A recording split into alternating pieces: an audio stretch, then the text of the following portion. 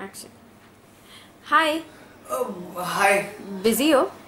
नहीं थोड़ा सा। सुनो अगर तुम्हारे उस खड़ूस बॉयफ्रेंड हम दोनों को बात करते हुए देखा तो शायद उसका पारा ना चल जाए। हे चल कुछ नहीं होगा। सुनो तुम्हारी गर्लफ्रेंड है? गर्लफ्रेंड मेरी? नहीं। अब है है ना? गर्लफ्रेंड मेरी तो है ना?